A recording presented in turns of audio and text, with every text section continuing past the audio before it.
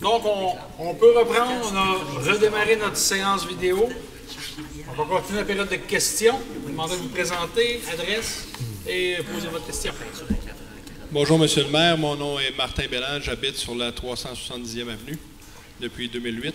J'étais aussi vacancier à très long terme de 75 à 85 avec la famille Chat sur la 370e avenue qui m'a fait connaître le lac Achigan, un des plus beaux lacs au Québec, je crois. Euh, faire une petite parenthèse, en 2011, on a eu l'aventure des mines. Ça a fait bouger beaucoup le village. Tout le monde était très paniqué. Il y avait eu une séance spéciale à l'église. Euh, je m'étais présenté au micro comme aujourd'hui. Euh, j'avais dit qu'on pouvait peut-être barrer le chemin comme avait fait Feu Lasagne dans le temps, mais pas de masque. Ça avait fait un grand murmure. À la sortie de l'église, il y avait Mathieu Meunier qui était là, euh, Bruno Laroche, l'ancien maire, et plein d'autres citoyens. En un mois et demi, on a réussi à sortir les mines de Saint-Hippolyte, ce qui a été presque jamais vu en 125 ans de la loi sur les mines. Ça, je pense qu'on a été très fiers. C'est surtout qu'on a pris les choses en main. Euh, il y a quelque chose qui se passe présentement au village, surtout le Cachigan. Il y a énormément de murmures, un peu comme les mines, qui s'appelle le camp Bouchésie. Qu'est-ce qui s'en vient avec en haut? CoCréa, qui aujourd'hui s'affiche ouvertement comme il va y avoir un camp d'adultes. Tu as du lobbying qui se fait dans l'actualité il y a quelques mois sur les camps de jour au Québec et leur avenir. C'est tout phrasé pour une chance que M. Eric est là, sinon le lac Achigan distribue. C'est un peu ça la tangente qu'on voit. Euh, quel est le statut du camp CoCréa? Si on suit, comme je vous dis, au site web, ça existe déjà. On en est où avec ça? Et qu'est-ce que la municipalité fait avec le principe d'acceptation euh, sociale? Là-dessus? Je, je, vais profiter de l'occasion justement pour vous répondre et annoncer à tout le monde que dans le cadre de, de son projet, M. Desroches est prêt à présenter à toutes les personnes qui désirent voir la teneur du projet du camp Cocréa une présentation publique qui devrait se faire mardi prochain ici même. Je pense qu'on lui a prêté les installations. On ne s'impliquera pas dans le projet. L'idée, c'est qu'au niveau des municipalités, notre responsabilité à nous autres, c'est de regarder les activités qui sont proposées dans le camp Cocréa. On a justement fait une rencontre hier avec euh, deux membres d'APLA, euh, avec euh, deux membres du conseil municipal, euh, deux personnes du, projet camp pour justement regarder puis convenir ensemble de qu'est-ce qui va être fait dans les prochains, prochaines mois. Et quelque part, oui, on a donné notre aval à ce projet-là, parce que, un, M. Desroches a acquis les installations, il est en train de rénover, et il présente un projet de camp complémentaire à Bruchésie qui permet une, une je dirais, une complémentarité camp d'adultes, camp d'enfants. Est-ce que quelque part, euh, on va continuer à tergiverser sur la, la, la, pas la nécessité, mais le bien fondé de, ces actions? On comprend que M. Desroches respecte la réglementation municipale et dans ce qui est proposé, ben, je n'ai pas le choix d'accepter provisoirement son projet et de suivre intensément le développement de son projet en collaboration avec les intéressés. Les citoyens en pensent quoi, eux, du projet, qu'on ne sait pas vraiment c'est quoi qui va être présenté mardi prochain que vous dites, mais c'est les citoyens se sont prononcés, vous avez pris une décision, mais quand je parle à tout le monde dans la rue, on entend un hôtel de 25 chambres, si, si, c'est incroyable tout ce qu'on entend. Voilà. Et ça, ça, franchement, ça choque. Il y a de la désinformation au niveau de son projet et c'est pourquoi il se propose de venir publiquement expliquer exactement en quoi consiste son projet de camp. Il ne se propose pas, il vient. Il vient, effectivement. Il va être ici mardi prochain. Pour vrai, venez. Toutes vos questions, c'est mardi le bon temps. Prochain. Pas de trouble. Et suite à ça, est-ce que ce que j'entends de vous, est-ce que c'est, euh, excusez l'expression anglophone, mais c'est un done deal? Ou euh, le camp Cocréa est encore. Il n'y a pas de done deal, là. J'ai- la misère avec le terme anglophone, c'est. Est-ce que c'est affaire conclue avec le camp Cocréa?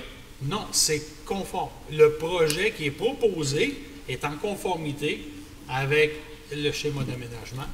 On lui a donné un certificat d'usage, un certificat d'autorisation sur les usages qu'il veut faire de son camp Cocréa. Et c'est notre responsabilité. c'est notre maintenant de suivre ce qu'il va développer et de faire qu'il respecte le cadre dans lequel on, on- on lui donne. Et nous, pour euh, voir ça, c'est M. Éric Desroches qui va nous le présenter. C'est lui qui va présenter le projet la semaine prochaine. Je pense qu'il est prévu. 19 heures ici. Oui, 19h. Oui. On va voir la rencontre. On se parle après s'il y a lieu. Merci beaucoup. Merci.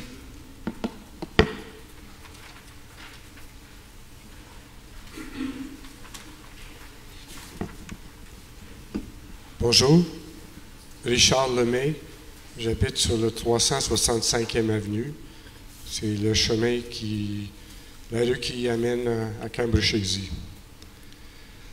Pour, euh, pour supporter le monsieur qui a posé euh, la question concernant la piscine à Saint-Adèle, euh, je suis d'accord avec lui. On a beaucoup de lacs.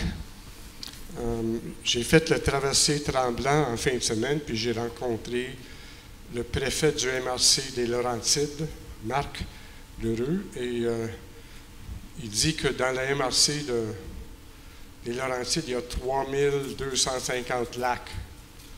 Et j'ai dit, qu'est-ce qu'on fait en hiver? Et euh, il ne m'a pas répondu. On va. Alors, alors, je propose que on essaie de faire une entente avec euh, Saint-Adèle, mais aussi, j'aimerais que la municipalité de Saint-Hippolyte propose à la MRC Rivière-du-Nord de faire une étude pour faire un centre aquatique. Il n'y en a pas. Il y en a partout, partout, là. Mirabel, euh, Terrebonne, euh, il y en a partout. Puis eux autres, ils n'en ont pas. Alors, euh, on pourrait pratiquer plus la natation en hiver. Je sais que votre point avait été amené dans une rencontre des maires dont j'étais présent et ça a été pris en note au niveau de la MRC aussi. Euh, je suis un propriétaire euh, riverain de Lac-Achigan, puis je n'ai pas reçu la lettre concernant, l'aménagement riverain. Je me demande pourquoi. Est-ce qu'il y avait des, des personnes ciblées? Il y, a, il y a eu, dans un premier temps, il y a eu des personnes qui ont été ciblées parce qu'il y a eu euh, des visites préalablement qui ont été faites et que les bandes riveraines ne respectaient pas déjà les, les- les critères. Si vous avez pas reçu de lettre, euh, j'ose croire que c'est une bonne nouvelle pour vous. Donc, Parfait. euh, non, c'est parce que je regarde euh, l'environnement depuis euh, ma jeunesse. Je suis encore jeune, mais quand j'étais plus jeune, je regardais ça. Donc, depuis les années 70, je, tu sais, on, on parle de, de la bande riveraine, de protéger la bande riveraine, puis ça fait 50 ans, puis on n'a pas tapé les doigts à beaucoup de personnes 50 on, est, ans. on est sur une voie différente, je vous dirais. Concernant les bandes riverains, le, le 365e avenue, il a mangé une claque le 21 mai. Euh, Est-ce que vous pensez de faire quelque chose pour aider les- ces personnes-là Ben, à je- reboiser? Bien, justement, je pense que il y a quelques semaines, on a fait une distribution de repousse d'arbres. Et ça a été très, très, très populaire.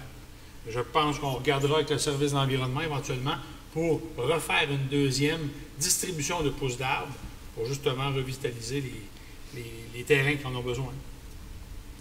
Dernière chose concernant le Cambréchésie, euh, on, est préoccupé beaucoup par euh, peut-être euh, la programmation qui s'en vient. Je fais de j'ai pas de bateau à moteur, moi, puis j'en ai jamais presque eu. C'est mon frère qui en a un.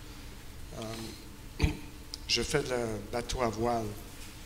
Le Cambréchésie, en a acheté euh, comme une vingtaine de bateaux à voile.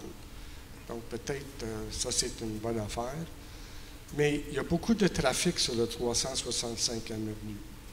Quand vous avez dit au monsieur que s'il fait une, une- signe une pétition de toutes les personnes pour faire un stop juste avant le monte au, bois, la réserve Orgelvie, est-ce qu'on peut faire la même chose pour le 365e avenue, de baisser la vitesse de 20 parce qu'on a déjà même à 20, là, les gens vont trop vite.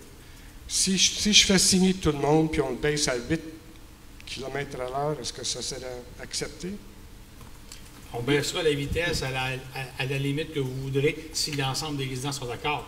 Je veux vous dire quelque chose au niveau du projet euh, du camp Bruchesi, camp. La proposition a été faite à M. Desroches de se faire une entrée exclusive pour ses activités de camp. Et c'est un point que je vais essayer de maintenir, que lui, dans son projet, puisse délimiter ses activités de camp via une entrée personnelle pour limiter les activités sur la 365 qui est chez vous. C'est ça, c'était ça ma prochaine euh, approche. Il y a deux possibilités pour une autre rue euh, directement.